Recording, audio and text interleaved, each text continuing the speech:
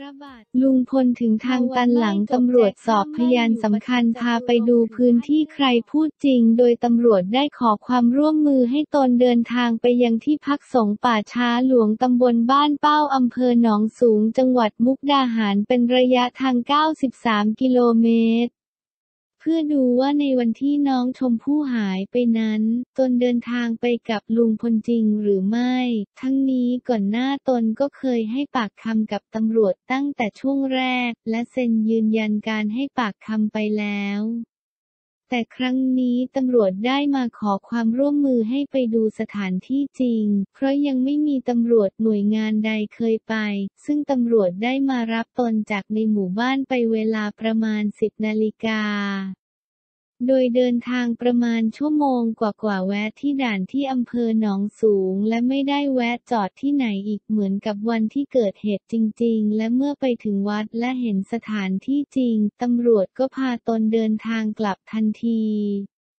ในระหว่างทางตำรวจก็สอบถามว่าแวะซื้อของที่ไหนบ้าน ขากลับก็ได้แวะที่ตลาดในอำเภอกุชินาราย จังหวัดกาฬสินซึ่งตนได้พาตำรวจเดินตลาดเล็กน้อย และกลับทันทีโดยถึงหมู่บ้านกกกอกเวลาประมาณ 13 นาฬิกา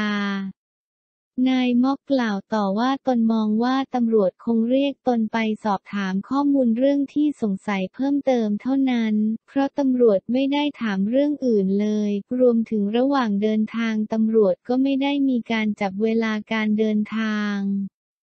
อีกทั้งตำรวจก็ยังขับรถค่อนข้างเร็ว อย่างไรก็ตามตนยืนยันว่าตนไม่ได้ให้การเข้าข้างลุงพล เพราะในวันเกิดเหตุนั้นตนก็ได้เดินทางไปกับลุงพลจริง ๆ ทีมข่าวได้พูดคุยกับลุงพล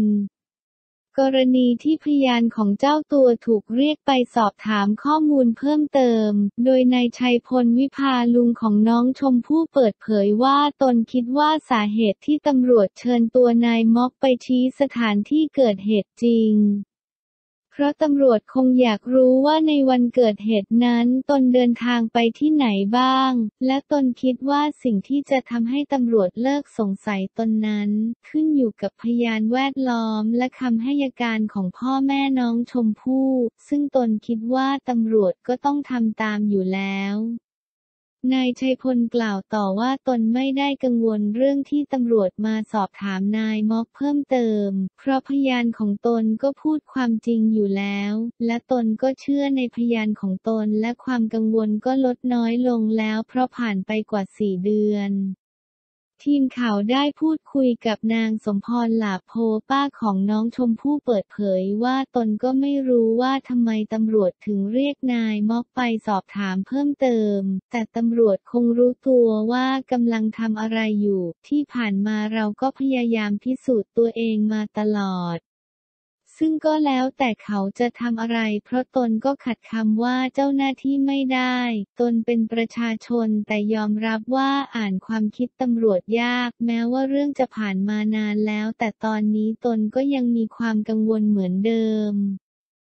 พราะถึงแม้ตนจะมั่นใจว่าไม่ได้ทำอะไรผิด แต่บางอย่างที่เรามองไม่เห็นก็ไม่อาจจะต้านอะไรได้ ซึ่งตนก็คงอยู่ไปตามประษาของตนอย่างนี้ ทีมข่าวได้พูดคุยกับนางนลินเงินนามพยานของลุงพลเปิดเผยว่า แม้สามีจะถูกเรียกไปสอบถามข้อมูลเพิ่มเติม ตนก็ไม่กังวลหากตำรวจจะเรียกตนไปสอบถามข้อมูลด้วย เพราะที่ผ่านมาตนก็เดินเคียงข้างและเป็นพยานให้ลุงพลมาเสมอ อะไรจะเกิดก็ให้มันเกิด และตนก็หนักแน่นในคำพูดของตนที่เป็นพยานให้ลุงพล และยืนยันว่าในวันที่ 11 พฤษภาคม 63 ตนไปส่งพระกับลุงพลที่อำเภอหนองสูงจริง หนองสูงจริง อย่างไรก็ตามตนคิดว่าสาเหตุที่ตำรวจเรียกสามีไปสอบถามเพิ่มเติม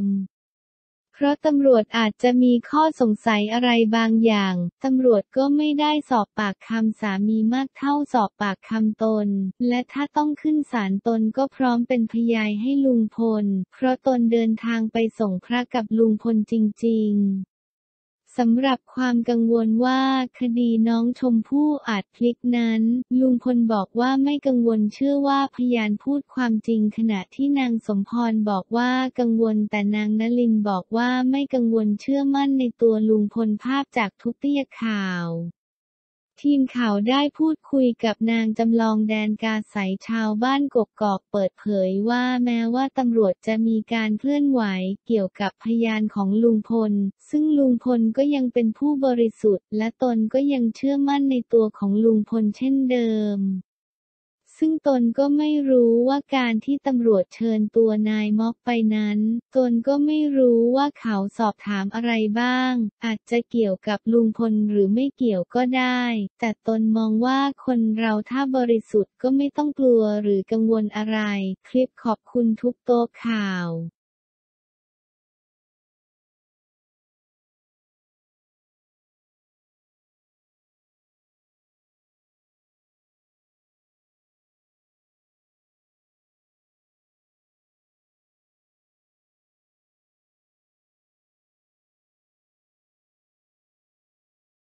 แอปทักษออนชุดเล่นน้ำทะเลน่ารักมากล่าสุดทำเอาแฟนคลับต้องพร้อมใจกันกดไลค์ให้แบบรัวๆนั้นเป็นภาพของแอปทักษออนขณะกำลังเล่นสนุกอยู่กับคลื่นทะเลที่ซัดสาดอย่างไม่ขาดสาย ระหว่างที่เจ้าตัวกำลังเดินเอาเท้าแช่น้ำอย่างสบายใจ แต่ทว่าจุดโฟกัสที่หลายคนอดพูดถึงไม่ได้นั่นก็คือความเซ็กซี่แบบกำลังพอดี ในตอนที่แอฟ ทักษอรต้องใช้มือช่วยจับชายกระโปรงไม่ให้เปียกน้ำ ซึ่งเผยให้เห็นขาขาวออร่าที่ไม่ค่อยจะมีโอกาสได้เห็นกันบ่อยๆ ซึ่งก็แน่นอนว่าไม่เพียงแต่เจ้าตัวจะถูกทั้งกลุ่มเพื่อนสนิทคนบันเทิง เข้ามาสาดคอมเมนต์แซวโมเมนต์เซ็กซี่ชวนมองเท่านั้น แต่เหล่าแฟนคลับที่ติดตามอินสตาแกรมของแอฟ ทักษอรก็ยังพร้อมใจบอกเป็นเสียงเดียวกันเลยว่าช็อตนี้ของคุณแม่ดีต่อใจมากๆเลยภาพดังกล่าวภาพดังกล่าวนานๆทีจะได้เห็น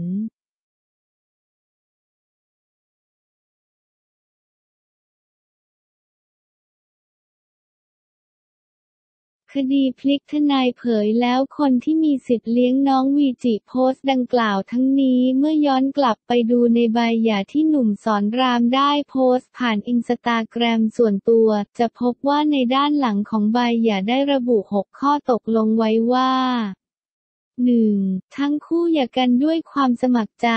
ดังได้นำหนังสือสัญญาการหย่ามาแสดงและได้แนบติดพร้อมบันทึกนี้แล้วสองคู่หย่าได้แต่งงานอยู่กินกันเป็นเวลาสองปีมีบุตรเป็นจำนวนหนึ่งคนได้แก่เด็กหญิงวีจิเทพพิทักษ์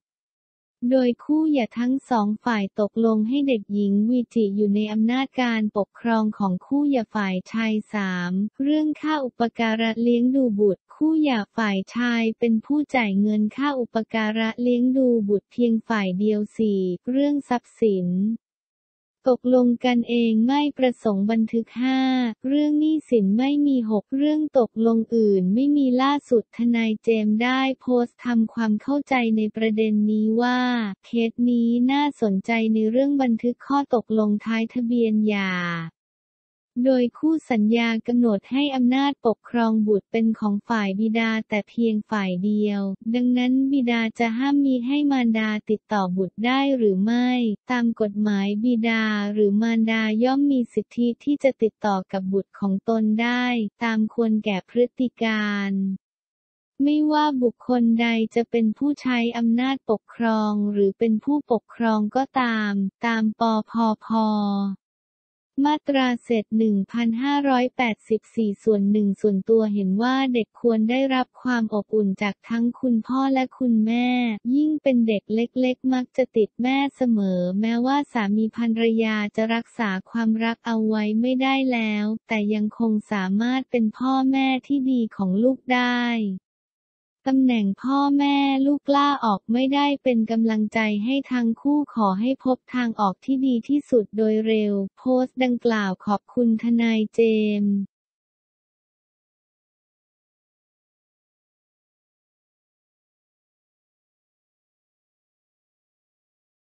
สิ้นแม่บิ๊กป้อม สายสนีวงสุวรรณ เสียชีวิตด้วยโรคชราในวัย 96 ปี วันนี้ 9 กันยายนในเฟซบุ๊กของวาสนานาน่วมผู้สื่อข่าวสายทหารชื่อดังได้โพสต์ข้อความแจ้งข่าวว่า นางสายสนีวงสุวรรณมารดาขององค์พลเอกประวิตรวงสุวรรณรองนายกรัฐมนตรีและหัวหน้าพรรคพลังประชารัฐ เสียชีวิตลงแล้วในวัย 96 ปีโดยข้อความระบุว่า สิ้นคุณย่า แม่บิ๊กป้อมนางสายสนีวงสุวรรณสิ้นในวัย 96 ปีหลังนอนป่วยที่โรงพยาบาล พระมงกุฎมาหลายเดือนด้วยโรคไตโรคชราบิ๊กป้อมไปเยี่ยมแม่เกือบทุกวัน มีรายงานว่าเมื่อคืนนี้นางสายสนีวงสุวรรณมารดาบิ๊กป้อมพลเอกประวิตรวงสุวรรณรองนายกรัฐมนตรีและ หัวหน้าพักพลังประชารัฐถึงแก่กรรมด้วยวัย 96 ปีด้วยโรคไตโรคชราช่วงที่นอนป่วยพลเอกประวิตรจะไปเยี่ยมมารดาเกือบทุกวันที่โรงพยาบาลพระมงกุฎ กำหนดพิธีพระราชทานน้ำหลวงอาบศพวันพฤหัสบดีที่ 10 กันยายน